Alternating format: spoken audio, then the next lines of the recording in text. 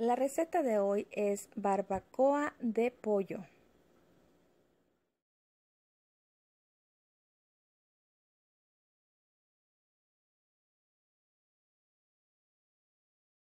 Ingredientes: un puñito de pimienta, cuatro hojas de laurel, dos pizcas de comino, dos pizcas de orégano, un palito de canela, tres ajos grandes, un puñito de cilantro, un pedazo grande de cebolla y vinagre.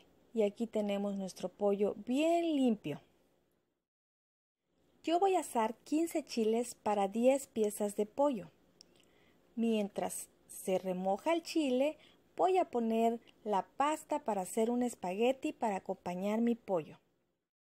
Mientras los chiles se remojan por aproximadamente 30 minutos, vamos a licuar todos nuestros ingredientes.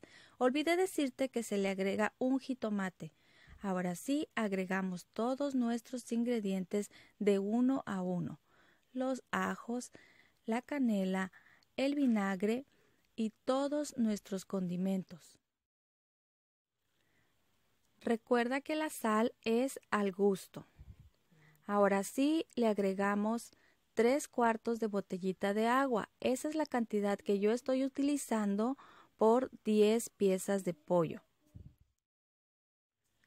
Ahora sí lo licuamos muy bien.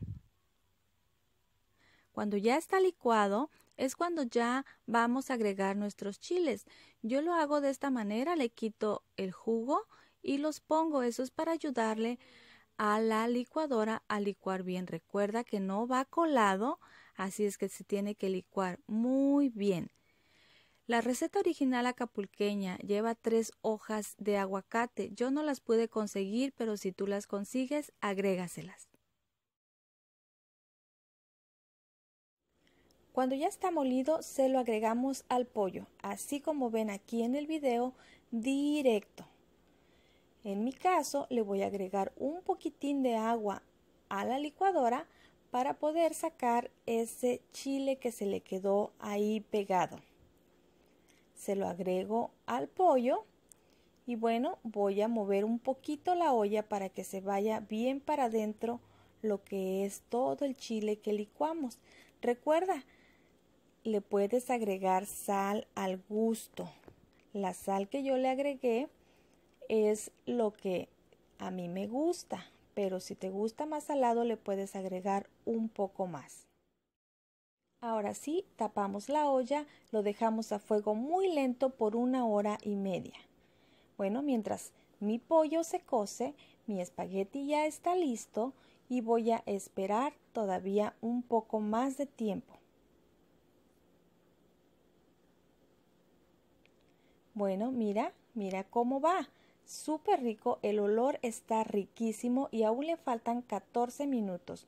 El pollo ya se ve muy blandito, pero de todas maneras yo lo dejaré que termine su tiempo de cocimiento. Y así es como queda nuestro pollo súper rico, súper suave. Provecho. Espero que te haya gustado. Suscríbete a mi canal. Soy Jenny la nena. Recuerda compartir las recetas y darle clic a la campanita para que te lleguen mis notificaciones. Nos vemos en el siguiente video.